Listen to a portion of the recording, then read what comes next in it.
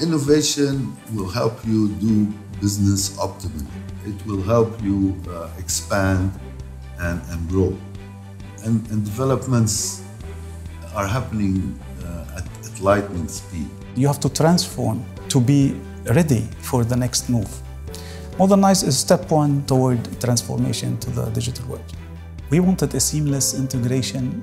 We wanted to improve business processes and improve efficiency, improve reporting analytics, and existing ERP.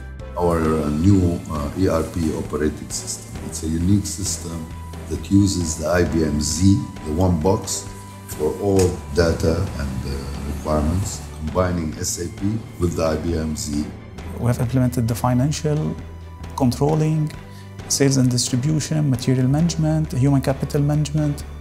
The transformation or the, the next step to connect to private cloud, to public cloud, to use analytics, which is on-prem with cognitive on cloud. All these are uh, on, on, on the roadmap. Having that platform available, you have like a green field for your innovation, where there are no restrictions to do or not to do.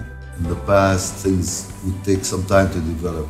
Today, every day, we have new challenges which we have to adapt ourselves to. Our ability to manage these changes will dictate our future.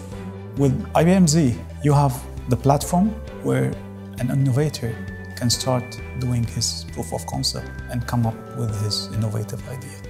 Having the proper platform and the ease of enablement between on-prem cloud and public cloud using IBM Z and using IBM public cloud makes digital transformation roadmap easier and doable in the future.